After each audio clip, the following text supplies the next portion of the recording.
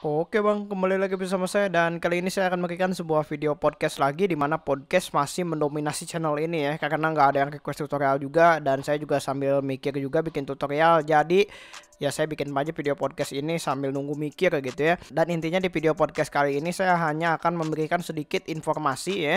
Bukan informasi yang banyak-banyak amat sih ya. Tentang hard disk atau mungkin storage pada komputer ya. Jadi kalian nggak tahu cuman hard disk doang atau HDD doang gitu ya. Karena ada tiga yang lainnya. Nah yang pertama ya di sini ada hard disk ya atau HDD ini HDD ini sangat-sangat uh, normal ya atau mungkin bukan normal sangat-sangat uh, sering banget digunakan gitu ya dalam uh, laptop atau mungkin komputer atau mungkin PS sekalipun gitu ya. Jadi hard disk ini ada bentuk yang 2,5 ukurannya dan yang 3,5 ya, 3,5 inch. Jadi yang 2,5 itu biasanya untuk laptop dan tipis dan kalau yang 3,5 itu untuk komputer ya biasanya.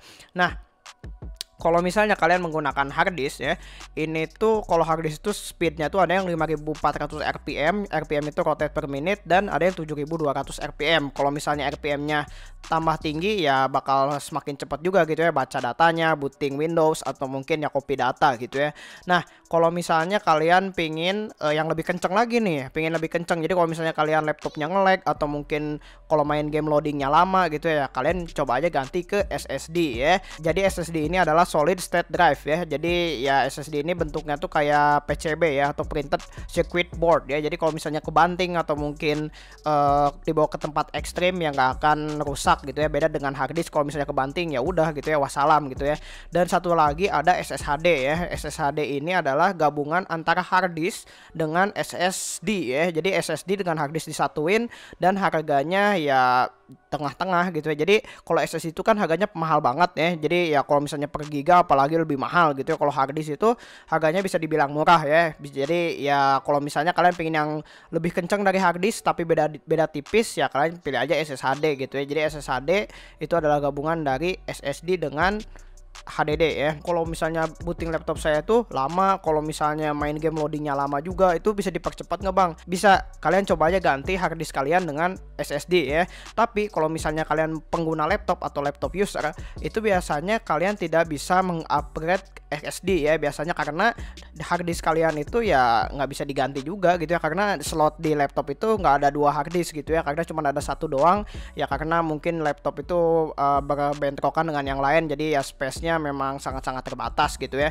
Berbeda dengan komputer yaitu kalian bisa pakai sesukanya. Tapi kalau misalnya di laptop kalian bisa menggunakan lagi M.2 SSD jadi M.2 SSD ini ya lebih kecil lebih kecil lagi. Jadi kalian colokin di motherboard ya kan? Jadi ya kalian colokin dan kalian bisa menggunakan SSD tanpa harus mengganti hard disk kalian gitu ya. Karena kalau misalnya hard disk kalian 500 GB atau mungkin 1 tera gitu ya diganti dengan SSD itu mahal banget pas 1 tera mungkin bisa sampai 5 juta ya. Mungkin saya juga nggak tahu.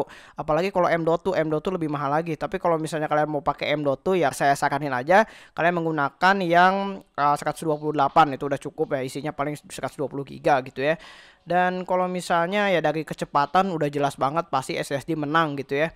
Kalau misalnya dari cepat booting Windows atau mungkin yang uh, loading game gitu ya. Jadi kalau misalnya booting Windows pakai SSD itu bisa hitungan detik ya.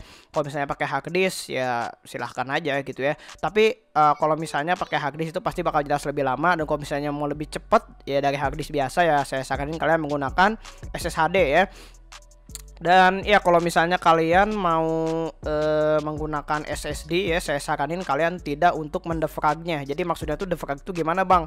Nah kalau misalnya kalian ada hard disk defragment itu jadi ya kayak file-file di hard disk itu ter terpecah jangan di defrag kalau SSD. Kenapa? Karena bakal rusak pak. Jadi kalau misalnya rusak ya udah sih ya ya kalau misalnya rusak beli lagi paling. Dan memang kalau misalnya setiap hard disk itu pasti ada plus minusnya gitu ya. Dengan hard disk kalau misalnya nggak bisa dibawa ke tempat dingin atau mungkin kebanting langsung rusak kalau SSD enggak kalau SSD ya memang kalau misalnya di defrag ya rusak juga gitu ya.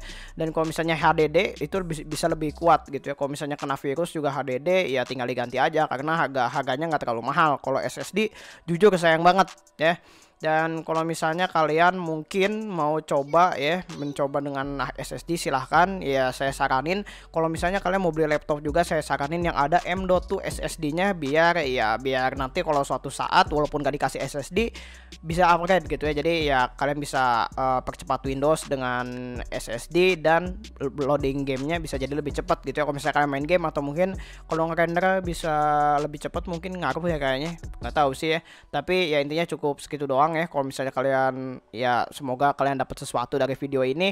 Jangan lupa untuk like share dan subscribe. Seperti biasa nama saya Rida Tutorial Berkasiat dan thanks for watching. Bye bye